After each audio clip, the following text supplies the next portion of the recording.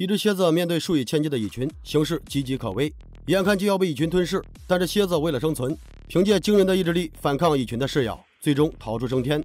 男子看着眼前的这一幕，教育儿子：做人一定要像蝎子一样坚强，没有坚强的意志，会被生活啃得连骨头都不剩。儿子似懂非懂的点了点头。男子叫佐伯之半藏，是日本忍者白井流的高手，忍术以凶猛迅捷著称。当他带着儿子返回村子之时，却发现整个村子里竟然没有一个活口。他的老婆赫然也在其中。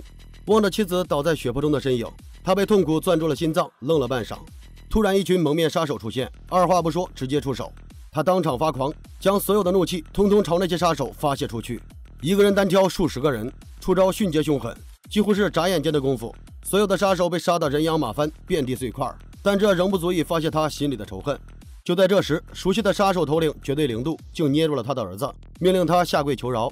原来今天白井流被灭门，完全都是中国暗杀组织林奎教的手笔。双方素来都有仇怨，半藏不敢反抗，只能照办。零度一招寒冰真气将其冻住，手中一紧，竟然当面捏死了他的儿子。然后又是一个冰锥，结果了他的性命。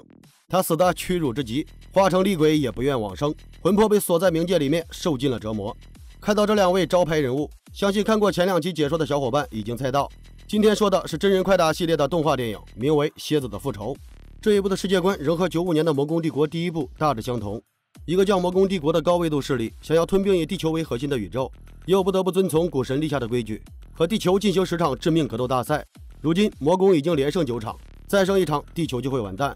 因此，地球守护者雷神暗中选定了三个高手，并对主角少林武僧刘康进行秘密特训，传授天人合一的高阶武学，去参加致命格斗大赛。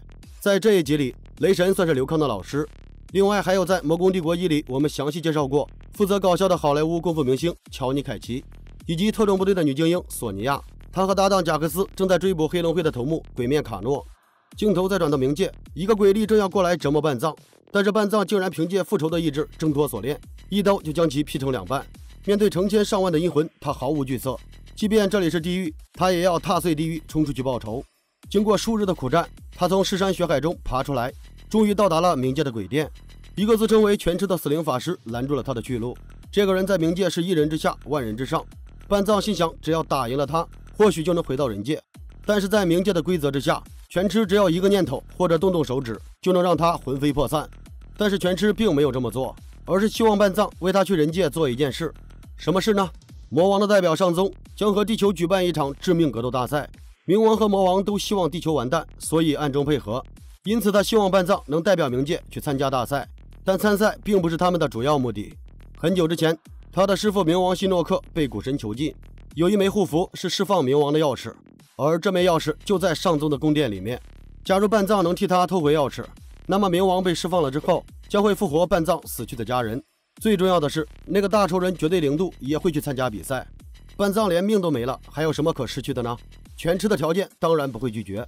于是他答应下来说：“半藏已经死了，从此他改名为蝎子，只为复仇而生。”镜头再转到三个重点比赛选手的身上，他们在雷神的带领之下，坐船穿过结界，来到了各宇宙的交汇地带。这个巨大的小岛是上宗用魔法创造的结界，山顶上是一座阴森森的圣殿。在丰盛的晚宴上，作为东道主的上宗很快就讲明了比赛的重要性。规则很简单，神不能干涉比赛，地球人只要通过单挑格斗进入圣殿战胜 BOSS 就算胜利。不过，按照以往的比赛来说，地球人已经连输了九场，这一次应该也不会例外。按照古神的规定，十场连输，地球将会被他的主人魔王少康收入囊中。为了提前庆祝胜利，他准备给选手们来点娱乐节目助助兴。紧接着，黑冷会头目卡诺押着一个特种部队成员走进了大厅。索尼娅一看是搭档贾克斯，想要上前去营救，却被杰杰给阻止。贾克斯说：“卡诺为了躲避特战队，投靠了上宗，他追到这里就被抓了起来。”现在上宗居然让他对战前九届的格斗冠军半龙人格洛，这和送死基本没什么区别。格洛身材魁梧的像一座巨塔，打贾克斯就像打孩子一样轻松，所以基本毫无悬念。贾克斯的两条手臂被硬生生的扯断，还好雷神及时出现，挥手之间电飞了格洛，贾克斯才得以保命。所以后来他的双臂才会被改装成一对铁拳。与此同时，蝎子悄悄潜入了宫殿的深处，寻找解救冥王的钥匙。就在蝎子用锁链干倒守卫，刚找到密室之时，雷神再次出现，用先知的语气劝他最好不要拿走钥匙，因为全痴只是把他当成一枚棋子，是做棋子还是摆脱棋局，都在他一念之间。蝎子反问道：“全吃的条件太过丰厚，他还有的选择吗？”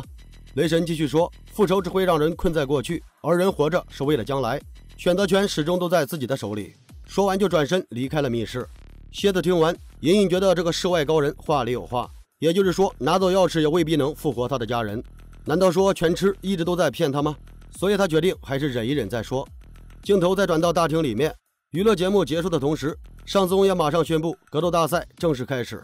每个选手都会被随机传送到一个区域，面对另一名对手。我们先说凯奇，事到如今，他还以为自己处在一个比较逼真的电影片场，这些演员在他的眼里都像神经病一样神神叨叨。就在他四处游荡之际，一个满嘴獠牙的塔克坦族战士差点要了他的小命。那家伙手上的双刀可并不是道具，这分明就是一头怪兽。他吓得立刻撒腿便跑，顺便机智地引爆了附近的弹药库。没想到这波爆炸直接炸死了恐怖的怪兽，他幸运地成功晋级。另一边，索尼娅在沼泽里遭遇了一个既会隐身又会释放毒液的蜥蜴人，就像铁血战士一样，美女边打边逃，最终利用污泥才让其现出原形，然后一招夺命剪刀脚直接剪断了对手的脑袋，十分的犀利。而刘康的对手当然还是公主吉塔娜，这家伙作为整个系列主角中的主角，功夫十分了得，一对火拳瞬间就把公主击败。不过他怜香惜玉，下不去重手，间接赢得了公主的芳心。获得晋级之后，三个主角结伴同行，准备前往圣殿。在半路上，竟遇到了正对灵盔教士兵大开杀戒的蝎子。蝎子来比赛，只想复仇。当然，他对地球人并没有什么恶意，所以双方不冷不热，倒也相安无事。本来下一站的对手是黑龙会卡诺，但是这个罪犯根本不按规则行事，带领大批士兵准备把他们全部消灭在这里。关键时刻，蝎子居然率先出手，一锁链就是三颗人头。三名主角见状，马上各显身手，拿出了看家本领。不出一刻的功夫，这些不入流的士兵全都变成了满地的碎块。卡诺见士兵们太弱，赶紧亲自上阵。结果一个蓝衣忍者突然出现，冻住他的枪口，骂他玷污了神圣的单挑格斗赛，一脚将他踹下了悬崖。绝对零度的出现让蝎子十分的意外。正所谓仇人见面分外眼红，蝎子的战斗力直接暴涨五千，立刻跳出去直取零度。用的全是杀敌一千自损八百的拼命招式，根本不屑于防御。为了族人，为了老婆，为了儿子，他招招直取要害。即便灵度再强，遇见如此不要命的人，也被打得毫无还手之力。最终，蝎子抱着他跳下了悬崖，一起插死在石柱上，同归于尽。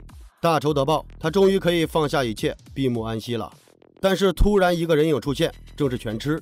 接下来，蝎子听到的话就像炸弹一样，炸得他难以瞑目。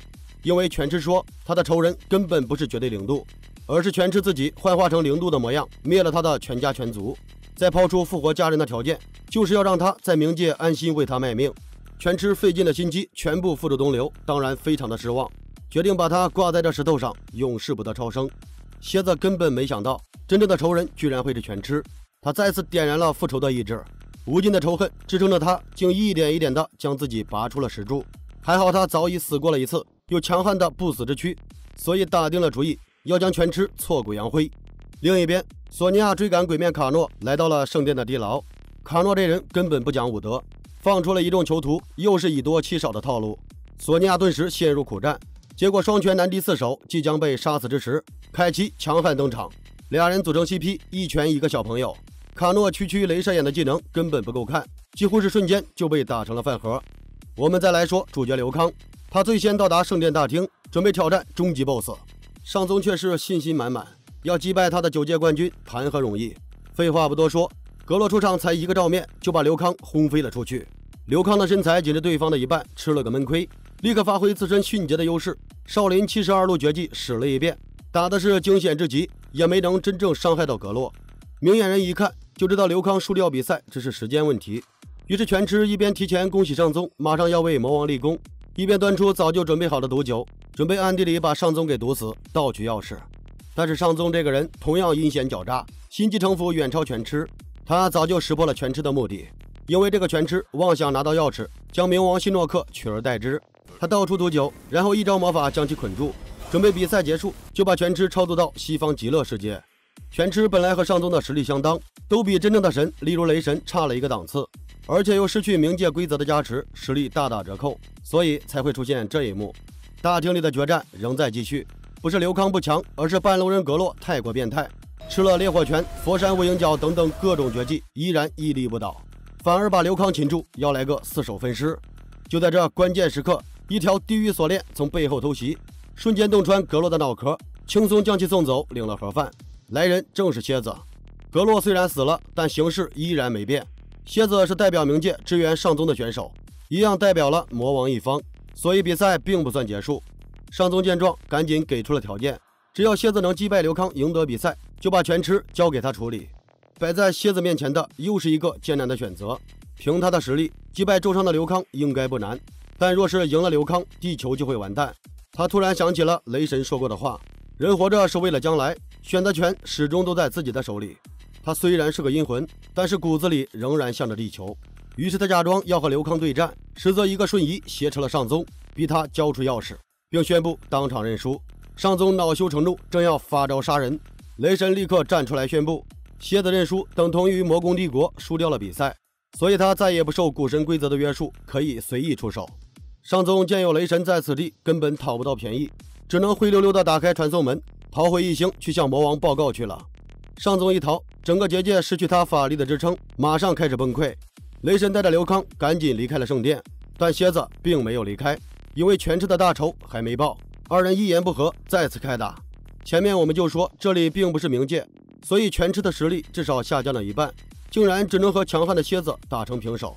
而蝎子身背血海深仇，又经过地狱火的淬炼和仇恨的加持，此消彼长之下，让蝎子此时无限接近于神的力量。因此他拳拳碎骨，刀刀喷血，各种大招来上一套，全吃死得非常凄惨，最后被活活烧成了灰烬。到此为止，蝎子大仇终于得报，在结界彻底崩溃之前逃了出去。三个地球的选手也安全返回。